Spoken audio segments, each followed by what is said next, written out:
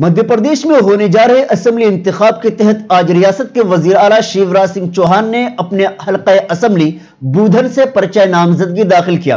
واضح ہے کہ پرچہ نامزدگی کی تاریخ دو نومبر سے لے کر نو نومبر تک ہے۔ اس موقع پر شیوراج سنگھ چوہان کے علاوہ کئی لیڈر بھی موجود تھے۔